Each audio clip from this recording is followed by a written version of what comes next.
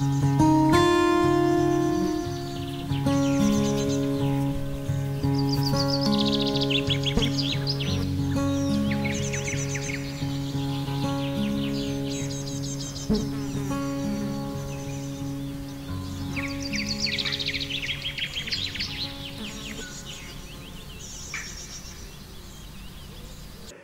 My bychom našim přátelům na obrazovce měli říct, že jsme na unikátním místě a sice eh, v podkroví Kostelíka v ulici 28. října v Českých Budějovicích, v samém centru města.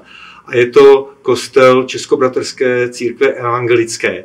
A já jsem tady s mými přáteli, eh, s farářem eh, Davidem Nečilem a s jeho synem Ondrou. A e, chtěli bychom vám ukázat e, principy e, vykýřového včelaření.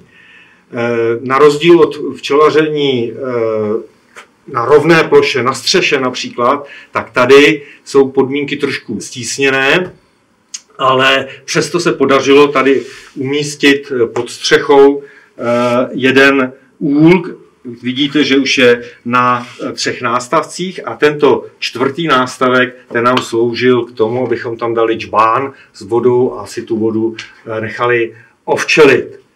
Tady to včelaření je trošku rozdílné než eh, na rovné ploše nebo přímo v přírodě, protože přece jenom je to tady chráněno proti vnějším vlivům, přímému slunci, přímému dešti, větrům a tak dále. Je tady i e, o něco e, tepleji.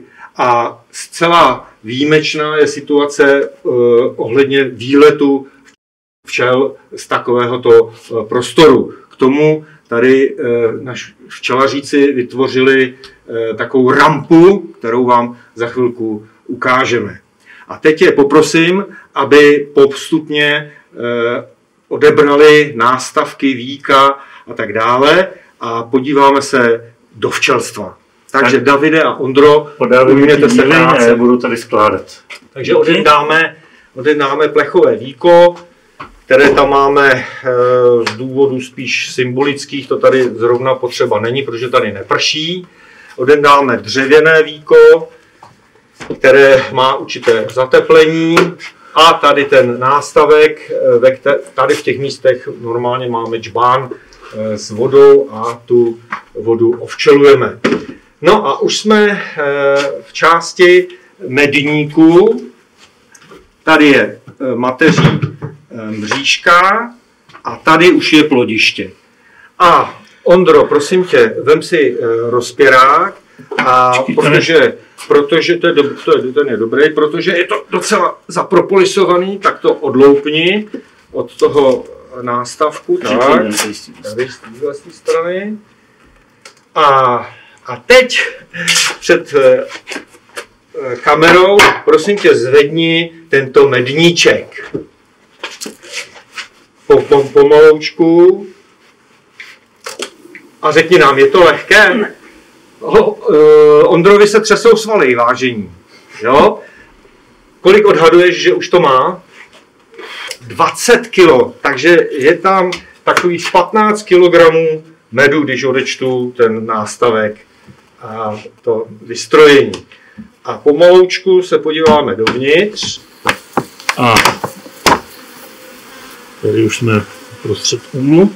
A na půdě nepoužíváme kuřák, oheň, ale místo toho máme postřik uh, vodou, která je mírně oslazená. Vidíte, že včelky se sklidnily, my jsme je podcukrovali, trošku vody a oni teď mají práci s tím se ulízat a dají nám pokoj.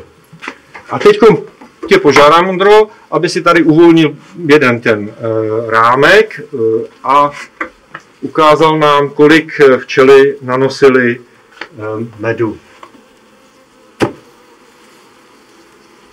Tak to je první. Ten by nemusel být až tak plný. Dobrý, já ti ho podržím. To je lehký, viď? Teď půjdeme dál. Tak. No, jak už je to tady. A ukážeme na kameru jak tam včelky nanosily nektár, který postupně přeměňují na med. A půjdeme ještě dál, půjdeme hloubš. Ještě zopakuji, že teď jsme tady v té části medník. Tam ukládají včely nektar a zpracovávají ji na med. Můžou tam taky ukládat pil, ale v tom medníku se nevyskytuje matka. Tu jsme uzavřeli do plodiště. Tady v těch místech je e, zavíčkovaný plod.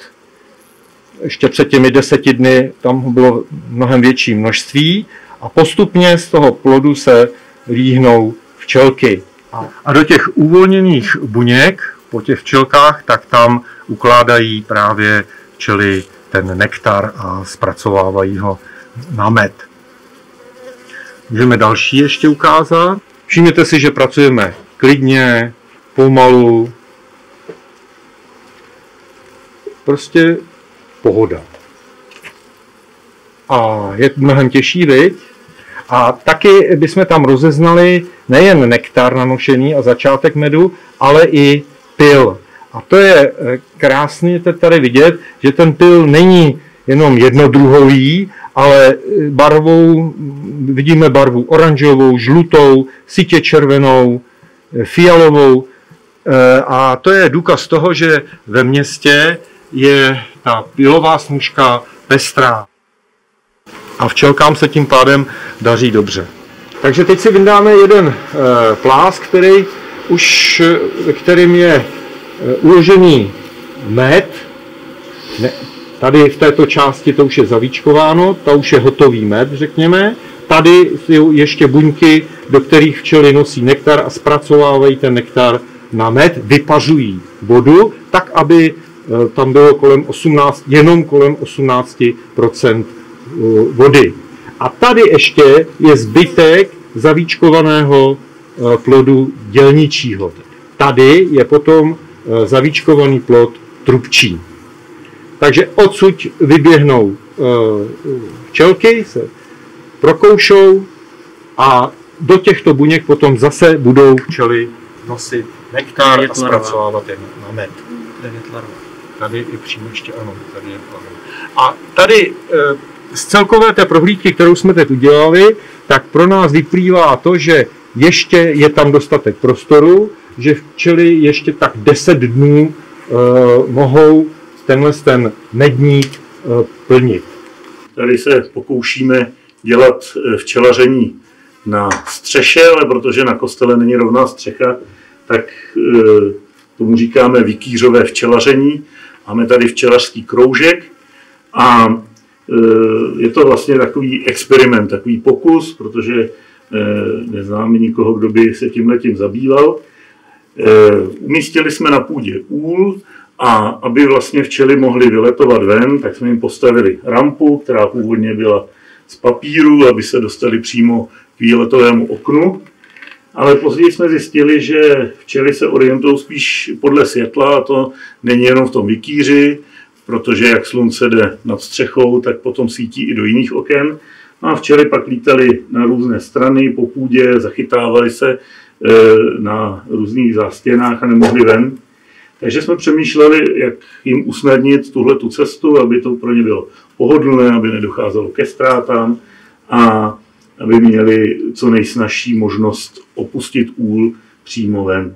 Tahle ta konstrukce je jenom z latěk a e, opatřená e, síťkou proti hmyzu a potom také plexiskly, aby jednak včely nemohly vylétávat ven, ale měly jenom volný prostor takhle z vytíře a zároveň, aby jsme je mohli pozorovat.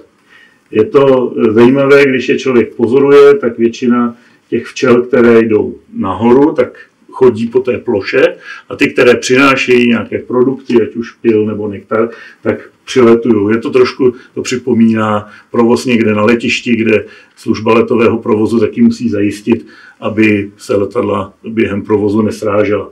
Dalo by se říct, že včely tady prosperují úplně stejně dobře jako jinde.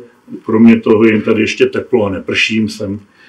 Takže jak teď, když jsme tady, tak na webových kamerách můžeme vidět velmi čilý provoz. Byl jsem překvapený, že dokonce byli aktivní i v dešti a vyletují i dnes, i když dneska není zrovna počasí nějak krásné, je poměrně chladno. Protože jsme v pořadu Věda na doma, tak jsme taky zkoušeli tady dělat vědecký experiment. Kromě toho, že jsme na doporučení pana Václava Krištůvka tady vyráběli ovčelenou vodu, tak jsme se pokoušeli zachytit na kameru pohyb včel. Tady mám jednoduchou kamerku a e, protože moje děti už jsou větší a už si nehrajou ze stavebnicí duplo, tak, jsme, tak jsem je obral o kolejničky a e, z tohohle toho duplo vláčku jsme vyrobili takové jednoduché zařízení. Vlastně, když se podíváte na to, jak se točí filmové záběry, tak jde o něco podobného, protože filmaři, když potřebují e, záběr, který je v pohybu, ale zároveň plynulý, tak také používají kameru na kolejích. My jsme tuto kameru umístili takhle na tenhle ten vláček, no a pak už stačí takhle jemně zatáhnout a můžete s tím natáčet záběry včel, které se pohybují tady potom e, po té naší rampě, po té naší runway, ať už jdou nahoru nebo dolů. E, zjistili jsme několik zajímavých e, faktů, jak už jsem říkal, třeba ten, že když včely přistávají, tak většinou létají, když to, když odcházejí z úlu, tak většinou chodí pěšky. A pak jsme si všimli zvláštního druhů včel, které stojí uprostřed té rampy. Dneska to není vidět, protože není tak horko, ale oni se zastaví na různých místech, zvednou zadeček a velmi rychle mávají křídly. A e, domníváme se, že to je vlastně služba, která funguje normálně v úle, že včely potřebují udržovat teplotu, ať už tím, že se shluknou a tím zahřívají e, tento dílo, ten úl, anebo naopak, že mávají křídly a tím ho větrají. Krásně to tady na půdě voní, takže vždycky, když jsem ve stresu, tak si sem chodím sednout, pozoruju, jak chodí sem a tam létají, nosí pil, nektar, ale se odlétají z úlu ven